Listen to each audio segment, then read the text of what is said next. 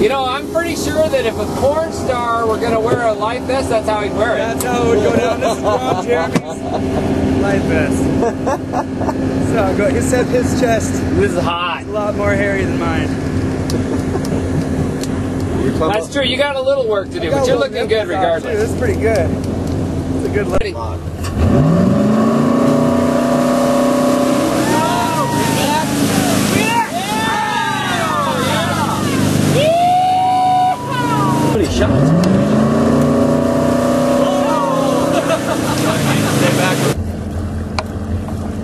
Go for it.